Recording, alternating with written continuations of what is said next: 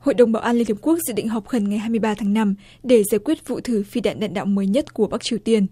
Phái đoàn Uruguay tại liên hiệp quốc cho biết cuộc họp khẩn này do hoa kỳ hàn quốc và nhật bản yêu cầu. Ngày hai mươi hai tháng 5, bắc triều tiên tuyên bố sẵn sàng chế tạo hàng loạt phi đạn đạn đạo tầm trung để trang bị cho quân đội.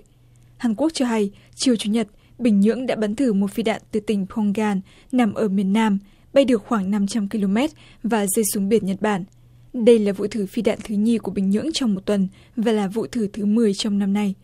Phát ngôn viên bộ tư lệnh mỹ tại thái bình dương, david benham cho biết, mỹ sẽ tiếp tục theo dõi hành động của bắc triều tiên và giữ vững các cam kết của mỹ đối với sự an ninh các đồng minh hàn quốc và nhật bản. Thủ tướng nhật bản shinzo abe gọi vụ thử mới nhất này là sự thách thức đối với thế giới. Bình nhưỡng tăng tốc tiến hành một loạt các vụ thử phi đạn từ năm ngoái tới năm nay.